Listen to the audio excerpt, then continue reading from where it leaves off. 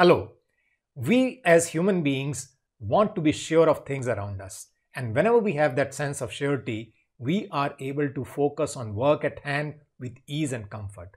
However, whenever there is uncertainty, whenever there's an element of doubt, we tend to become restless. And that emotional disturbance does not allow us to concentrate. Now, there are certain things in life which we can always be sure of. And once we are sure of those things, we can actually work towards them, we can create them for ourselves. And obviously, when we are able to make use of them, they'll work to our advantage. Let us have a look at some of them and ask yourself, how do you bring them into your life? The first one is you cannot learn less.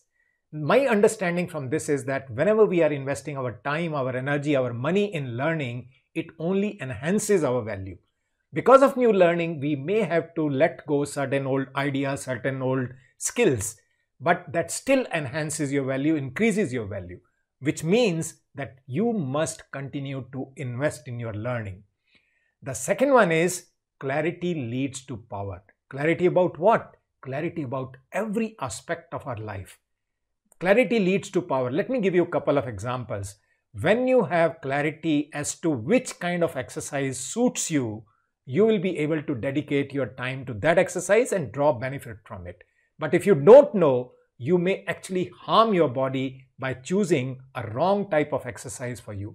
Similarly, about what diet suits you. You have clarity and you make use of it. Let's take another example. If you have clarity about where to invest in stock market, how to invest in stock market, how to make money out of stock market, you will be able to make right investments. But if you do not have clarity, the chances are you may lose money, risk will be higher. So clarity leads to power. Third one is you reap what you sow. This is what is called a universal principle. Every action has its consequence. And the more we are able to take responsibility and ownership of our actions, the more we will be able to accept the consequences also. Now, similarly, when will the consequences come? When will we reap the rewards of whatever we have done? It may come any time, any form, any shape. That is why you must be aware of what actions are you performing because they are going to bring consequences to you. The next one is you can't unring a bell. I found this very interesting. Once you have rung a bell, you can't unring it its consequences, its impact is going to remain in the environment perhaps for all times to come. The message that we need to draw from this is that every action that we perform cannot be undone. No action can be undone. If you have done anything wrong, you may say sorry, you may seek forgiveness from people, but the action by itself cannot be undone.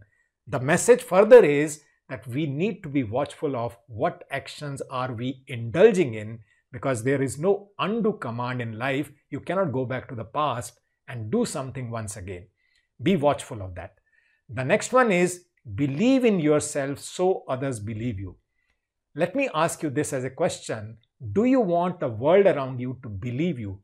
Believe in your own confidence, believe in your talents, believe in your capabilities, believe in your skills. Do you want that if you want that, the first level of that has to be you need to believe in yourself. You need to believe in your own capabilities. And once you do that, you will emit that as energy that goes out from you and people will sense that.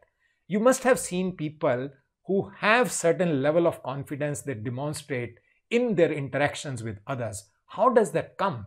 That only comes because they believe in themselves. So it's important to start believing in your own self because only then the world around you will be able to believe in you.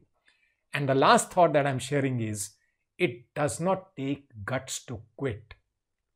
It's very simple to quit. You say, I can't do it anymore, is one of the easiest things to do. But continue to persevere, continue to move on, continue to go ahead in spite of setbacks, in spite of failures, that is what is challenging in life. And only those people tend to succeed in life who keep on crossing one challenge after the other. And that is why you need to understand, you need to be very sure of this thing that quitting is one of the easiest things to do in life But where does that leave you? That also needs to be understood. So, once you become sure of these six things in your life, you will notice every action that you perform comes from the sense of surety. And once you have that surety before performing an action, you will get that power to focus yourself, focus entire energy on what you want to accomplish. I'll meet you in my next video and I wish you all the best.